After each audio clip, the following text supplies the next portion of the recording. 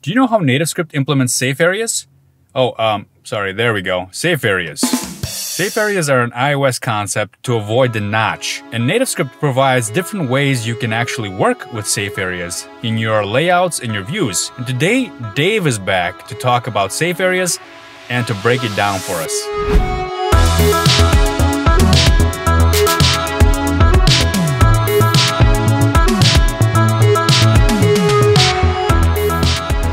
Hey everybody, welcome back. This is Alex Ziskind. My guest today, Dave Coffin. He's a NativeScript developer expert. He's got another tip for us today regarding iOS safe areas and how NativeScript handles them. He'll show you how to use safe areas in layouts, as well as regular views and what the difference is, and special attributes you can apply to stretch or not stretch your views beyond the safe areas of iOS devices. If you like the NativeScript content you see here, please consider subscribing to this channel and hit the little bell so you don't miss any NativeScript tips, tricks, and tutorials that we do here on this channel. All right, here's Dave. Hey everyone. So today I'm going to go over how to handle the safe area component of iOS views that was introduced to deal with the fact that uh, your UI can now extend into the areas of a full screen device. This is what Apple considers a full screen device. Uh, your views can extend into areas where your content could be clipped or interfere with the home status indicator or the status bar. iOS handles this automatically by providing uh, some safe area margins. Now, what they consider the safe area will change depending on the device and the orientation, but basically it is uh, the square portion of the UI. So this rounded corner section is considered unsafe, and the status bar area and the notch all considered unsafe. Now, unsafe means it's not safe for you to put content there and be confident that it won't look weird or interfere with the rounded corner or the status bar or the home indicator. Now you'll notice that this grid layout does extend into these areas. And that's because as of NativeScript 5, NativeScript handles this in a really elegant way. What they have done is they have designated certain views as layouts, and layouts do extend into these unsafe areas. And they've designated the rest of the views content and content will not extend. Now we can demonstrate this by switching this to a stack layout.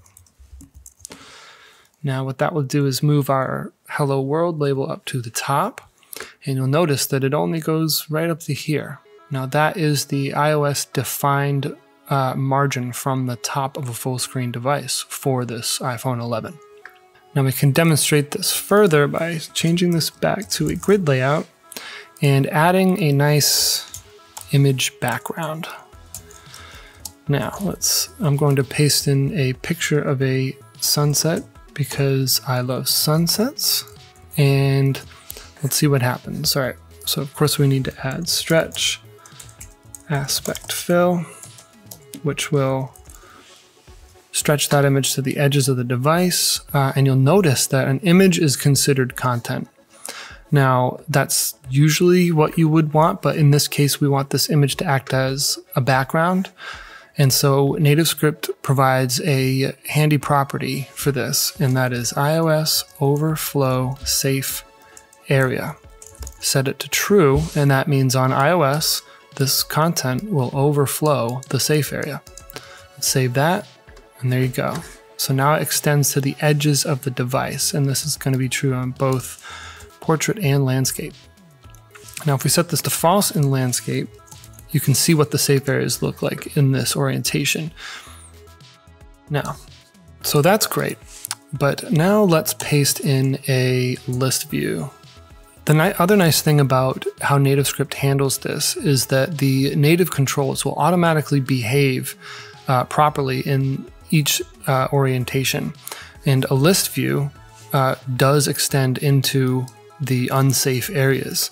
Now that is the proper behavior, but you'll notice that it is conflicting right here. Now, I this is my biggest pet peeve in, in mobile apps is when text sits on top of the status bar. Uh, now, there's a number of ways to handle this, of course. You could uh, put it in a grid layout, set the height explicitly, but one of the cooler ways to do it is to, um, we can put this in a stack layout. Drop the list view in there. Now it's not going to change anything, but if we put in another stack layout and set the background color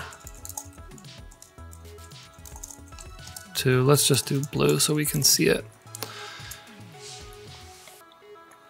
And we'll set the height to one.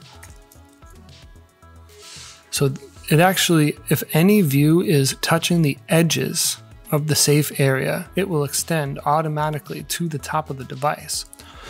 Let's try uh, one other UI experiment. Say we want a button that always sits at the bottom of the UI that extends to the edge. Now what we can do to achieve that, let's create a grid layout and we'll give it row and then we'll do auto in the second row. Now let's create a button, give it a background color of red and put it in the row at the bottom. Now by default, uh, the button will not extend to the edges, but let's add iOS overflow safe area equals true. Now this is cool, but it's not quite lined up right. So let's add some padding to the bottom of 20 points. There we go. Now that's pretty cool. So now you could have some form uh, or even a, a list view or, or, some UI where you want to always have a done, a big, huge done button at the bottom. Uh, now this will always sit at the bottom and even in landscape it's going to look great. That's just a brief overview of the way NativeScript handles the uh, safe areas in iOS. Uh, but I hope it helps some of you guys. See you later. Yeah, Dave, thanks a lot for that. That was an awesome tutorial. If you have any more questions for Dave about safe areas, leave a comment down below. And down below in the description, you'll find a link to nativescripting.com where you'll be able to learn a lot more about NativeScript. The NativeScript Core Pro course has just been updated. There's now 16 chapters for you of in-depth knowledge and more on the way. If you like this kind of content here, please consider subscribing to this channel and hit the little bell so you don't miss any NativeScript tips, tricks, and tutorials that we do here. And I will see you in the next one.